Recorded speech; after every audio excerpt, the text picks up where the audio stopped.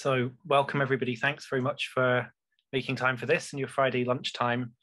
I am going to, as Rachel said, speak to the early slash modern part of Flesh Arranges Itself Differently, which is not uh, my primary area of expertise. I'm a contemporary art specialist, really. So I'm going to talk about these works as they pertain to this exhibition rather than as an expert on any of these areas. But I thought it would be useful also to talk a little to the process that has produced the exhibition and to how I see it fitting in, I think, to a number of other projects that we've made recently. Um, sometimes there are more insights uh, to be had as you look back on your work and see common threads emerging than you uh, sometimes intend to have put there. So I'm going to start basically by looking back to the two previous exhibitions in our contemporary program.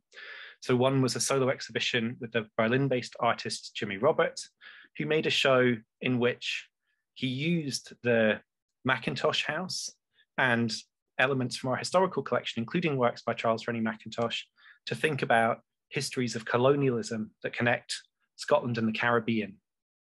And this juxtaposed uh, Jimmy's own work, these texts that he produced with materials uh, from our historical collections, from our uh, modern art holdings and others.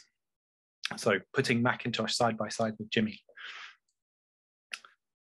bringing his concern with queer and Black experience into contact with the interiors of the Mackintosh House. And then the, the exhibition that followed that was called Dislocations, in which again, historical works were juxtaposed, were put side by side with uh, more contemporary pieces, some loans, some commissions, and some works from our collection. So we could look back to Cézanne or to Nash or to Haeckel and put them next to work by Louise Hopkins or Jessica Warboys, as here. To have Charlotte Prodger, Ian Hamilton Finlay, Thomas Clark, Andre Decker and Graham Eatough, Jade Montserrat and Webb Ellis next to Turner. And in just thinking back briefly to those exhibitions and then on to Flesh Arranged Itself Differently, I was really uh, conscious that, that both of those shows deal in a way with exposing contemporary art to some historical parallels and comparisons and exposing our historical collections in the Hunterian, which are very rich, as I'm sure many of you know, to contemporary perspectives. And this motif of exposure is what I'm going to try and stay with a little bit today and think about. It's been very key to Ned and I as we pulled this exhibition together. So the, the work really started with an aspiration to expose two very different collections to each other.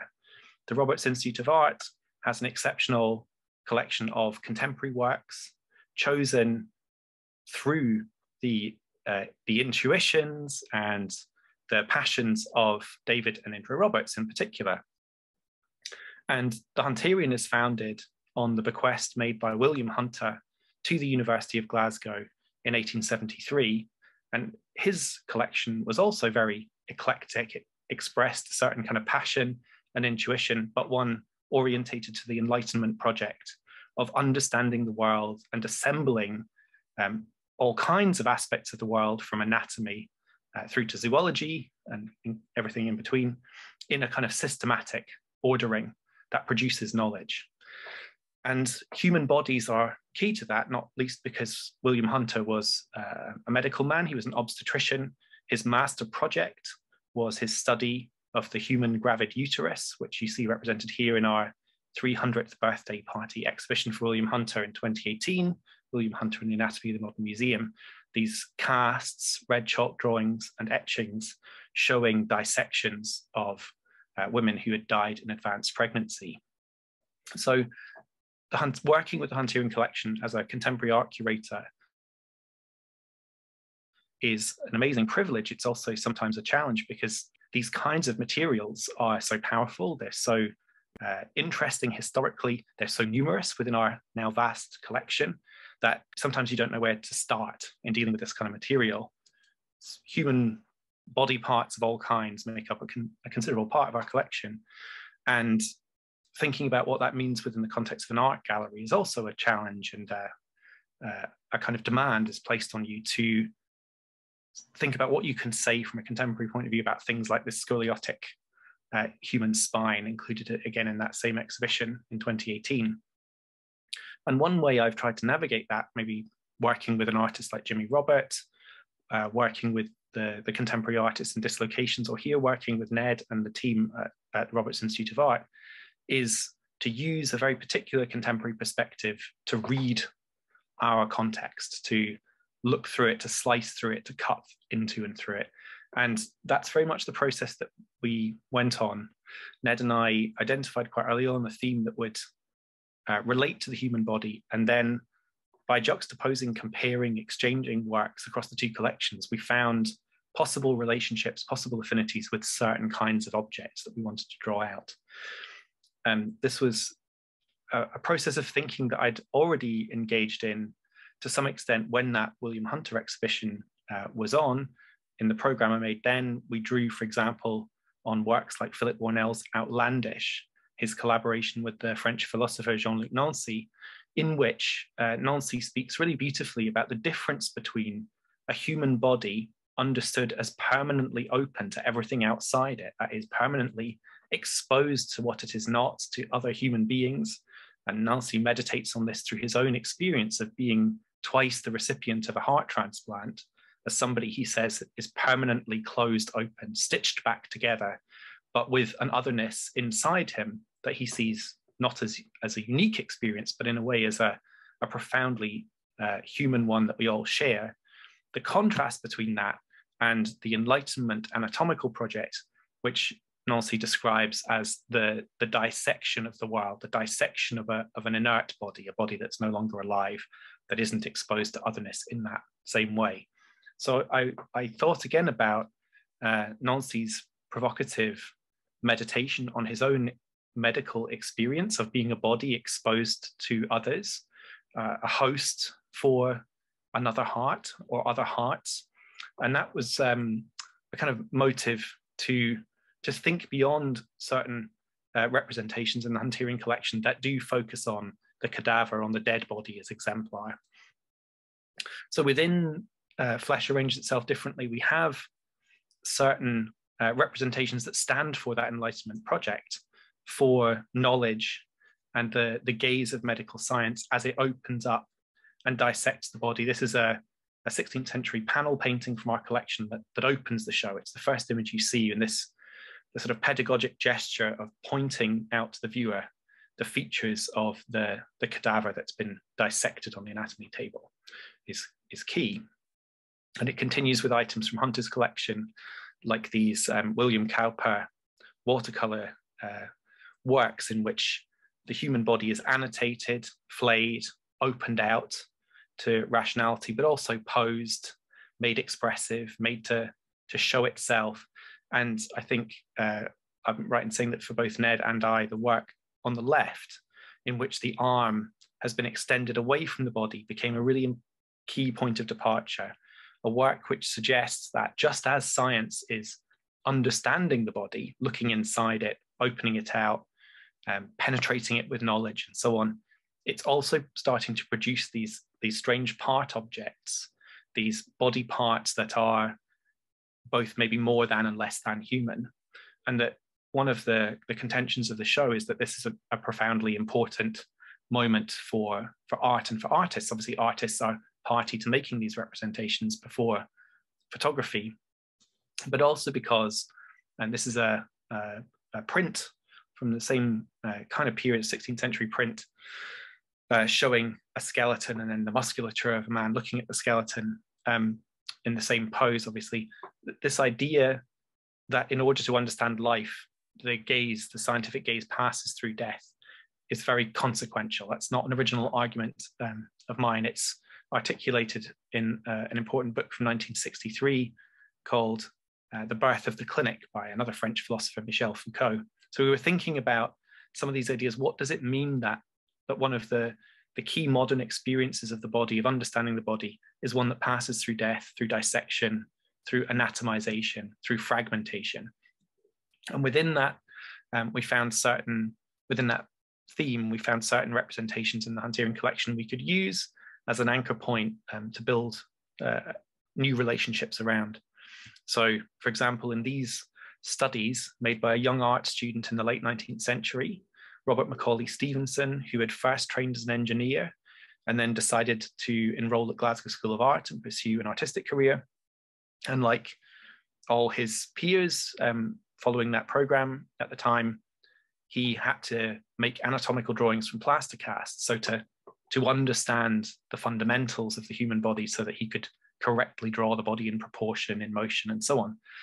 And the, the fact that this had become a standard part of art training, again, there's a connection back to Hunter. Hunter was a founding member of the Royal Academy, taught anatomy to art students in the 18th century. Uh, that felt interesting to us. But the fact that, in a way, these are not necessarily special artistic creations, they're part of a foundation for a certain approach to art making made them interesting. And the other thing that made them interesting to us was the fact that, of course, they start to produce these strange corpuses um, on on the surface of the work of art. These bodies or part bodies made up of views inside, uh, limbs separated from the, the complete picture of the human being. And the, the idea that within the medical, uh, scientific understanding of the body and its imaging, often through the agency of artists, there is something transformative at work is also registered for us in this teaching chart, which is included in the show, the kind of uh, large format representation used before PowerPoint to teach students in large auditoriums. It could be easily seen from the front. This is a you know, very tall work. It's reduced onto the side of your screen here. But this is looking at uh, the structures of nerve cells. And as, as you, as a viewer, gaze on it, of course, you're using exactly what's uh, depicted here to perceive it. Your nervous system perceives it, but it isn't if you unless you're a, an anatomist or a neurologist it isn't something you immediately recognize as like you in fact the images are strange potentially abstract organic uh, wonderfully suggestive of other forms and we were interested in the idea that there's some uh, provocation as science produces these increasingly abstracted images of ourselves that means uh, artists have to respond to that condition. We were also interested in the idea of the nervous system as the point of contact between an individual human being and the world outside them.